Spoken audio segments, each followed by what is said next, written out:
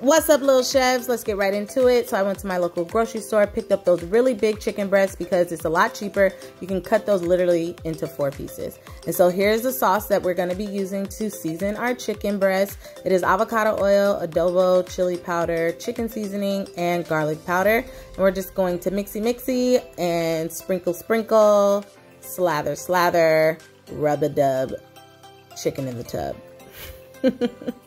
Get that all nice and coated, you guys. And um, this is totally optional. I just added a little bit of lime zest. Definitely don't have to do it if you don't want to. And we're to let the chicken hang out while we work on our cauliflower. I prefer using the cauliflower that is not frozen because cauliflower already has a lot of water in it already. And so this way, the fresh cauliflower just works better for me.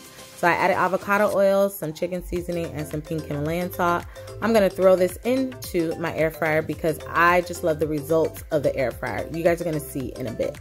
So onto our veggies. I chopped up some green bell peppers, red bell peppers, and some red onion. Just used a little bit of avocado oil. I'm gonna throw those into the pan just for a little bit, seasoning it with some pink Himalayan salt, chicken seasoning, and oregano. And I'm literally gonna just cook those probably like three minutes. So this is what I was talking about, you guys. This char that the air fryer does like deepens the flavor of cauliflower. Chipotle who? Chipotle where?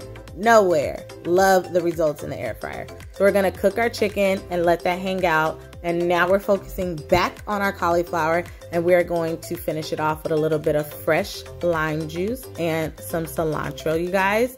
I love cilantro, so I may have went a little overboard, but I just love it. So once that's all mixed and the chicken is finished, we're gonna assemble our bowl, honey. I put some spring mix sprinkled on some cauliflower rice, and then we're gonna put on our chicken breast, and then our veggies, you guys. Some cilantro, just because again, I'm obsessed. And I decided to use cherry tomatoes instead of pico de gallo. And then I'm gonna finish it off with some Monterey Jack cheese, honey. Garnish it with some limes, baby. So good. Hopefully you guys can give it a try. Enjoy. Thanks for watching.